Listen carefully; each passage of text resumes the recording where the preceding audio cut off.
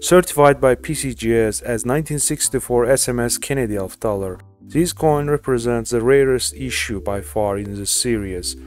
There has been much debate regarding whether or not these coins were originally issued in special mint sets, since they were never in any form of special mint packaging, and official special mint sets were not issued until 1965. The 1964 SMS Kennedy half dollar is struck on a 90% silver planchet from a single pair of dies showing much sharper detail than the regular issue and having a satiny surface texture.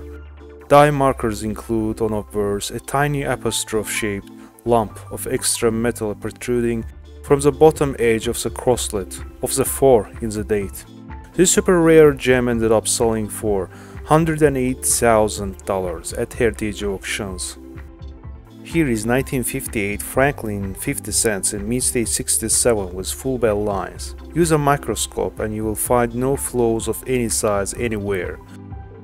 An intense luster nearly blinds you from all over. The color rivals any of the best Northern Lights coins really.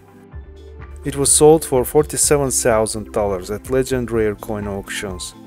This is 1956 proof Roosevelt dime in PR69 deep cameo condition. The 1956 dime with deep cameo contrast and at the PR69 grade level is a rarity.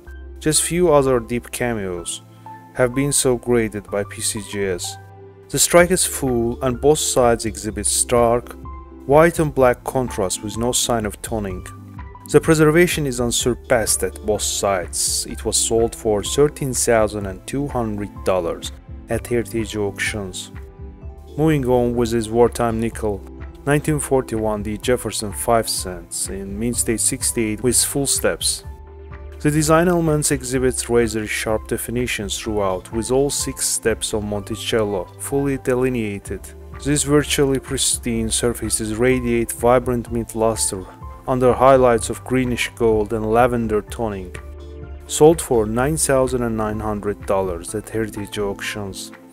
Here is 1942 Lincoln cent in PR67 Plus red condition, proven by CAC, a high-grade proof coin that has excellent eye appeal and is almost free of any imperfections.